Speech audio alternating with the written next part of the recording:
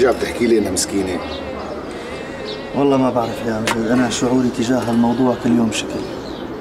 يوم بحقد عليها ويوم بشفق عليها. بس مش غريبه صلاح. هيك اختفت على الخالص. لا تليفون ولا رسالة ولا أي شيء ولا شيء بالمرة. أبصر وين بتكون مع مين؟ قاعدة شو عم بتألف له. امجد بدي صارحك بشغلة وخايف إنك تزعل. إيش هي؟ أنا حكيت لربع عنك. عني؟ كيف يعني عني؟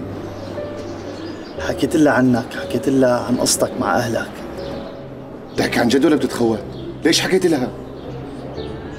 لك في يوم كنت ضايج وبدك تطلع تسهر. وهي كانت موعودة إنه أنا أرجع على البيت.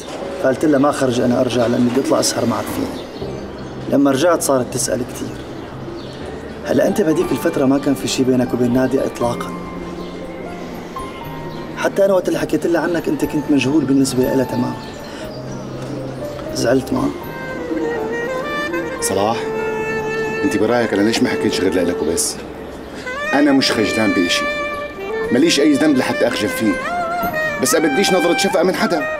أبديش كل ما تحركت أو عملت إشي يقولوا قصته كذا وكذا. عرفت علي كيف؟ أبديش كل ما تحركت تكون هاي الحكاية صفة بنوصف فيها أو بنشف علي بسببها. بعرف أمجد أنا رايح على البيت سلام.